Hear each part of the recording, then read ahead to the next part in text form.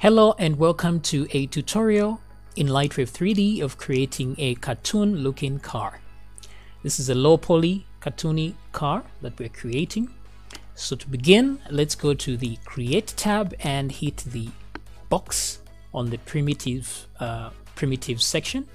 So let me hit box and go to the top view, click and drag. So we are creating something of a rectangle because this is the basic shape of cars.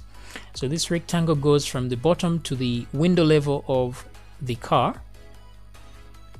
All right, so let me add a bit more, make it a bit longer. So this is up to you how long you want this car to be. However, head over to the right, uh, the right view and hit the arrow key uh, three times, the right arrow key three times to create some segments. So as you can see in the perspective view, we have two sections here for the doors. All right, so when we have that, we hit enter. Now what I want is to round the top corners here. So I'll head over to the back view, make sure I'm in point mode.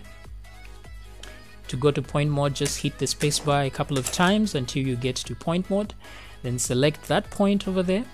I want to round this point. I could round both points at the same time. However, since there, there's no segment in between here, it's going to cause some undesirable undesirable results. Sorry. So let's do it one line at a time. So let's go to the multiply tab and hit rounder, hit N for the numeric tab. And in here, we're going to have, uh, we're going to be rounding number of polygons one, make sure it's at one. And then you add the inset distance here. This will depend on the size of your object.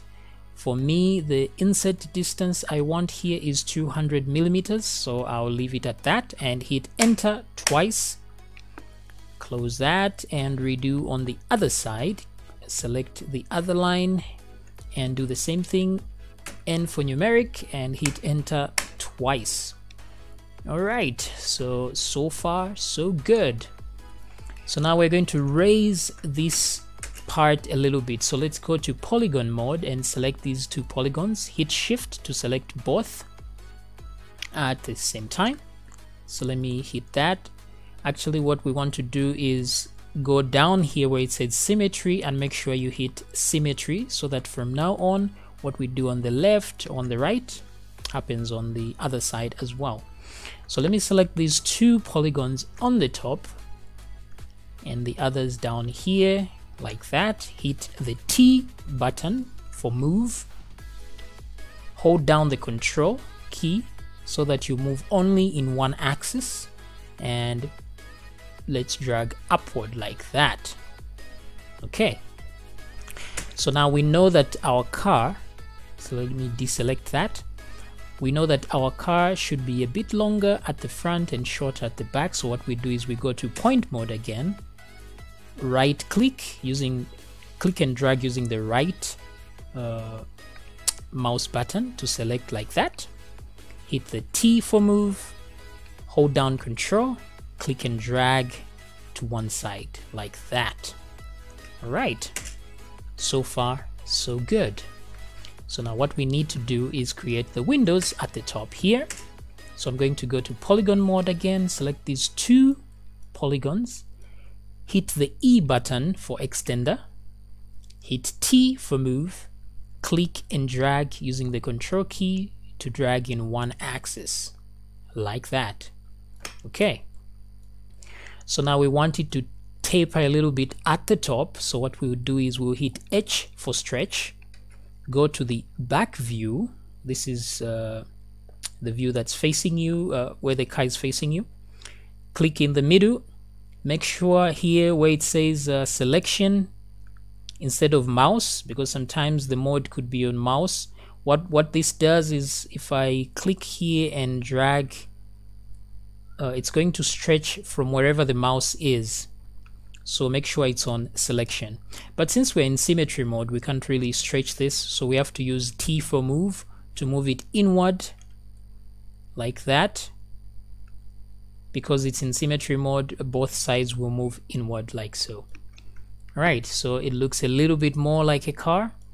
And then we want it to uh, head upward a little bit to tilt upward a bit. So we click the Y button for rotation hit the center press control and rotate. That's too much I think um, I would need something like okay don't hit the control key because that actually makes it difficult to it rounds it off. So we need something like um, let's say 10 degrees. You should watch the corner here the bottom left corner for how far you are actually rotating or moving something all right so so far so good let me go to let me click here to enlarge the view so that we inspect our car a little bit I think we are in the right direction Alright, so what I need to do now is to bevel the front part here, bevel the windows and so on. So let's begin with the front part here. I could use the bevel key or I could use multi-shift. Now multi-shift is a little bit complex, so maybe we are going to go with the bevel. Let me show you how the bevel works. So you hit the B on your keyboard, small letter B, and this brings up the bevel uh, uh, the bevel thing.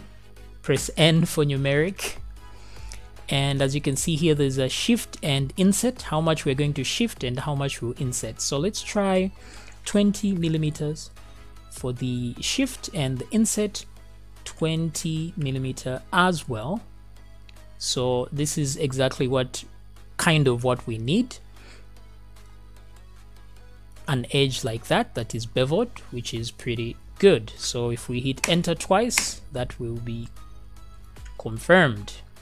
And we need to do this again. So we go inward. Now the thing is the multi-shift can do this in one take. The bevel we have to bevel several times. We can't keep doing bevels continuously so what I want us to do is to get the multi-shift so let's go to multiply tab where it says extend click on more and let's find multi-shift. So if I hit the N for numeric, it's pretty much almost like the bevel, except you've got more options here. So let's see how these options actually work.